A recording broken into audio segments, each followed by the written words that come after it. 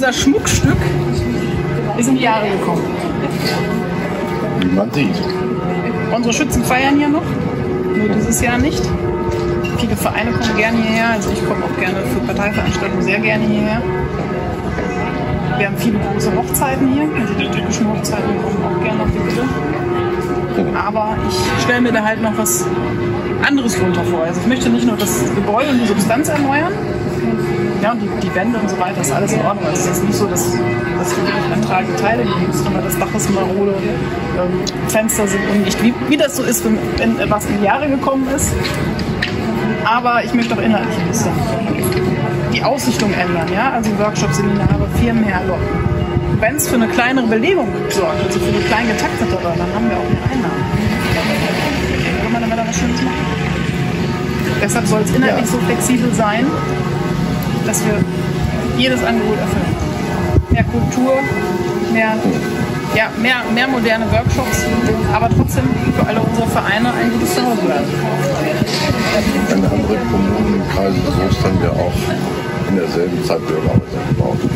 Also ich weiß schon, das sind auch zum Beispiel. Die sehen auch ähnlich aus. Die sehen alle ähnlich aus, die hatten dieselbe vom Land geförderte Konstruktion.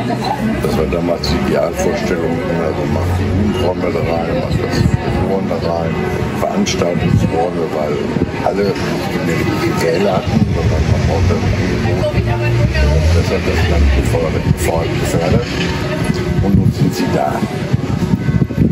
Netzwerken. Ich sag mal, das hier gesehen, Blick. Flachdach braucht man, ja, ist klar. Sieben Jahre noch muss was gemacht werden. Äh, aber wenn es sich tragen soll, dass man in der Tat Nutzung hat. Das ist auch so etwas wie ein professionalisierter Betrieb. Dafür muss man mehr anbieten als nur einen Raum. Technik. Unsere Hausmeister sind wirklich richtig gut, wenn es um Technik geht. Also wir können da super helfen, wir wissen, was sie tun. Aber moderne Angebote brauchen da noch mehr. Ja, auch bewegliche Wände, die wir haben, um die Räume abzuteilen, können auch Wände sein, um mal was draufzuschreiben, mal was zur Seite zu schieben, vielleicht auch mal mit, Glas zu arbeiten, auch an einem offenen Kasten zu sitzen. Da ist ganz viel möglich.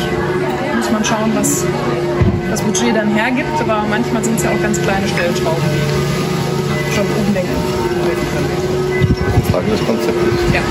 Du hast eben angesprochen, dass es um Jugendbereiche ging und auch um Senioren. Wir haben früher die alten Schulen gehabt. Ist es eben ähnlich. Oben brauchen wir die Rampe.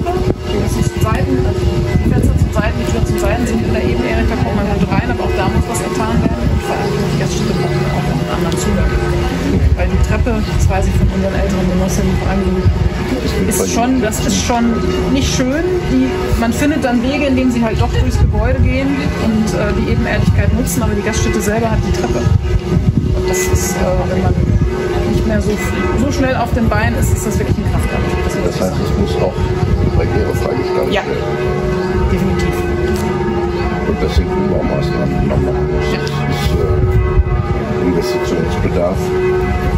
Das reicht nicht der Pottfarbe, sondern äh, das ist das Gesamtkonzept, habe ich glaube ich verstanden. Ja. Also, das als, als Ganzes überplant werden soll. Und muss das damit Ja. insgesamt. Wir sprechen von Millionen.